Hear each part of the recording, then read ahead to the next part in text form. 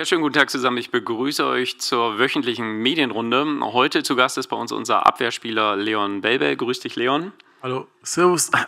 Und wir starten wie immer traditionell direkt mit euren Fragen. Im Anschluss gibt es dann noch ein paar Fanfragen direkt, die ich dann stellen werde. Wer möchte denn beginnen?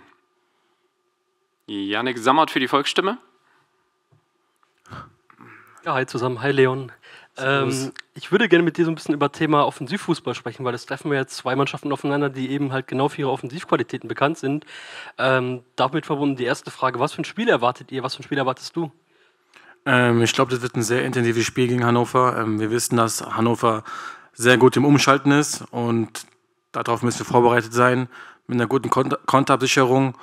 Und sicherlich wissen wir aber auch, dass Hannover uns auch Kontermöglichkeiten zulässt und wir die versuchen zu nutzen und ja, das Spiel für uns zu gestalten. Dann geht es ja am Freitag äh, ja, logischerweise wieder um Punkte. Äh, es ist ein Flutlichtspiel. Viele FCM-Fans reisen mit. Äh, wie viel Bock habt ihr auf diese Partie?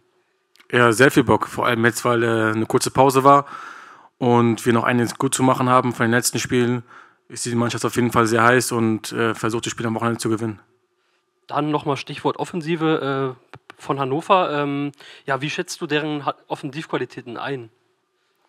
Ja, eine sehr gute Mannschaft offensiv. Also mit Teuschert und jetzt Nielsen, der ist jetzt, habe ich, gesperrt, äh, haben die eine sehr gute Mannschaft. Die Ausspieler von äh, Hannover schieben auch immer sehr mit hoch, mit dem und mit Köhn. Also ist auf jeden Fall eine sehr gefährliche Mannschaft.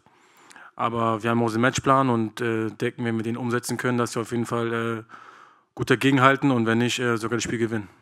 Stichwort Matchplan, du hast es gerade auch schon angesprochen mit Kontersicherung. Äh, worauf kommt vielleicht auch dann gegen so einen offensiv starken Gegner aus eurer Sicht auch noch an? Ja, auf jeden Fall. Die Zweikämpfe müssen wir annehmen und äh, bestreiten und auf jeden Fall auch gewinnen. Gutes äh, Durchschiebe- und Einrückverhalten von der ganzen Mannschaft und ja, auch eine gewisse Laufleistung muss äh, gegeben sein, dass wir gegen so eine Mannschaft bestehen. Sören Fiedler für die Bildzeitung. Eine kurze Frage zur Defensive. Äh, zuletzt gab es immer wieder ähm, das Gespräch, oder äh, war immer im Gespräch, dass ihr zu viele Fehler im Aufbauspiel gemacht habt oder zu viele Fehler auch im Abwehrverhalten wie könnt ihr das in den Griff bekommen, dass es äh, vielleicht auch mal zu Null wird? Ja, also ist immer einfach gesagt, einfach die Fehler abstellen. Ähm, wir wissen selber, dass wir sehr risikohaft spielen im Aufbau. Es ist aber auch genau ein Ding, was äh, die Gegner schwer verteidigen können. Und man hat, glaube ich, auch gesehen in den letzten Wochen, dass die Gegner uns nur geschlagen haben wegen unseren Fehlern, nicht weil sie äh, stark aufs Tor gespielt haben. Und ja, es liegt einfach daran, dass wir das abstellen. Und trotzdem obwohl wir die Fehler gemacht haben, selbstbewusst auftreten und dann denken wir, dass wir das äh, so auch gut gestalten können und am Wochenende gewinnen.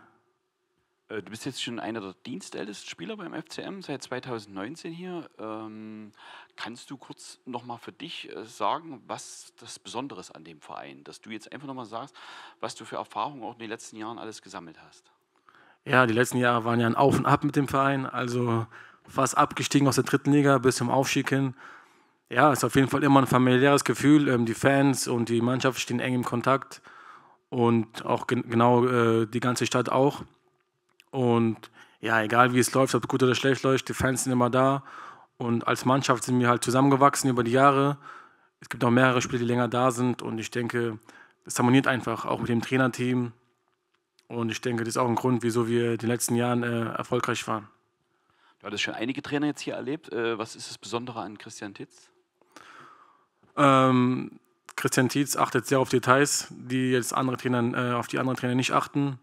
Er kann sehr gut mit Spielern umgehen ähm, und ja, gibt uns auch ein Vertrauen, was nicht jeder Trainer gibt und spricht oft mit uns, was wir besser machen können, was schon gut war und gibt den Mannschaft einfach ein gutes Gefühl und ist sehr kompetent in seinen Fachgebieten und äh, bringt den Spieler immer noch mal ein bisschen weiter und man lernt bei ihm nie aus. Also ich glaube, viele Spieler lernen immer noch mehr bei ihm, auch wenn die schon eine lange Karriere hatten. Und ich glaube, das kommt den Spielern auch zugute.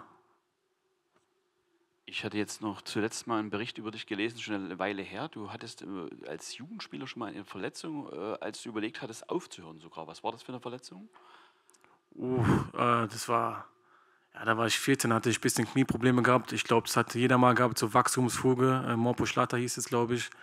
Und ja, wenn man jung ist, dann ist man mental vielleicht noch nicht so auf der Höhe wie jetzt. Und wenn es man dann nicht läuft und man über ein Jahr verletzt ist, denkt man auch so, okay, gut, hey, die Freunde, die machen das und das, vielleicht höre ich einfach auf. Aber ja, das war nur ein kurzer Gedanke und ich bin froh, dass ich äh, doch dran geblieben bin.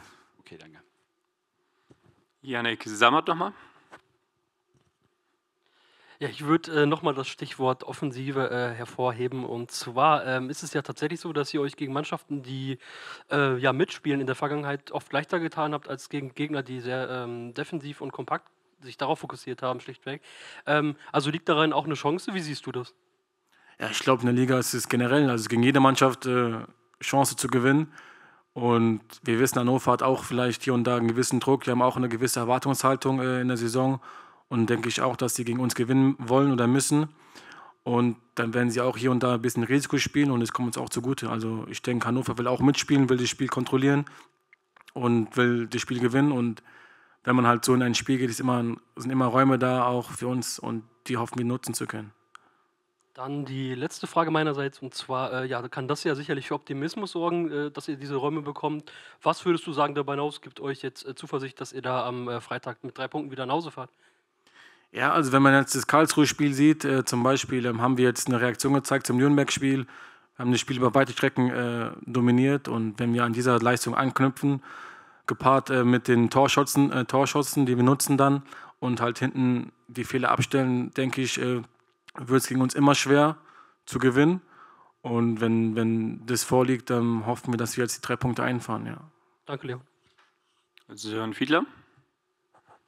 Meine letzte Frage, hatte der Trainer mit euch nochmal jetzt in den Tagen zuvor gesprochen über äh, disziplinarische Dinge, sprich, dass ihr nicht so viele gelbe Karten riskiert? Ja, klar, das ist immer hier und da ein Thema. Ähm, die Schiri-Leistung ist immer als Spieler, glaube ich, man ist nie zufrieden mit der Schiri-Leistung und hier und da im Spiel ist es auch immer sehr emotional und dann kommen manchmal die Emotionen hoch. Und ja, dann wird halt hier und da vielleicht manchmal gemeckert, was, denke ich, hier und da im Sport auch normal ist. Aber klar wissen wir auch, dass wir auf diese Dinge jetzt in der Zukunft aufpassen müssen, dass wir uns nicht solche gelbe Karten abholen. Aber sonst, ja, sonst war es jetzt eigentlich. Dann erstmal vielen Dank für eure Fragen. Kommen wir direkt zu den eingereichten Fanfragen. Einige äh, haben wir jetzt in der Auswahl dann für dich, Leon. Die erste ist, äh, wo siehst du dein größtes Potenzial? Puh, größtes Potenzial. Ähm, ja, ich bin halt ein Verteidiger, der vielleicht ungewohnt offensiv agiert. Also ich mag es auch, äh, offensiv dabei zu sein und das fordert der Trainer auch ein und es liegt mir ganz gut. Natürlich muss ich, äh, darf ich die Wege nach hinten nicht vergessen. Ähm, aber ja, ich, ich denke, ich bin sehr äh, zweikampfstark und lauf, laufstark und hoffe und kann damit der Mannschaft weiterhelfen. Ja, es wurde ja schon darüber gesprochen. Du bist jetzt schon einige Jahre bei uns, äh, hast dich dann für die äh, Rückennummer 19 entschieden. Welche Bedeutung hat denn diese Rückennummer für dich? Eigentlich eine wirkliche Bedeutung hat die nicht. Ähm, damals gab es ein paar Spieler, die Nummer 19 getragen haben und ich hatte halt die Auswahl zwischen 19 und 17. Und ich habe gehört damals, dass Marius die Nummer 17 hatte, habe ich gedacht, okay, gut, dann nehme ich lieber die 19. Hast du ähm, einen Lieblingsfußballtrick? Oh, eigentlich, eigentlich nicht. Ähm, aber ich schaue immer gern beim Roland Curry die Tricks zu. Der kann, der kann sehr viele gute Tricks im Training. Und die sind auch immer ganz schwer nachzumachen, weil ja, der ist da ganz speziell ganz gut drin. Eine weitere eingereichte Frage war dein Lieblingsteam nach dem FCM natürlich. Ähm, ich war früher ähm, sehr großer Arsenal-Fan und mich freut es natürlich auch, dass es bei denen gerade sportlich sehr gut läuft. Und ja, das wäre nach dem FCM mein, mein Club, wenn man Fan sagen kann, ja. Und eine abschließende Frage noch: äh, Spielst du lieber in der Defensive oder in der Offensive als Erklärung, weil du ja als Offensivspieler damals zu uns gekommen bist? Ja, also ich finde mich eigentlich, also ich mich eigentlich ganz wohl in meiner Position, da ich hier bei dem Trainer äh, eigentlich offensiv immer dabei sein kann oder dabei sein muss. Und deswegen liegt es mir eigentlich ganz gut. Gepaart mit den Defensivaufgaben, denke ich, äh, bin ich ganz zufrieden mit meiner Position. Alles klar, Leon. Vielen, vielen Dank. Vielen Dank, dass ihr dabei wart und wir sehen uns dann ähm, am Donnerstag, am morgigen Tag äh, zur Pressekonferenz vor dem Auswärtsspiel in Hannover mit unserem Cheftrainer Christian Tietz. Danke.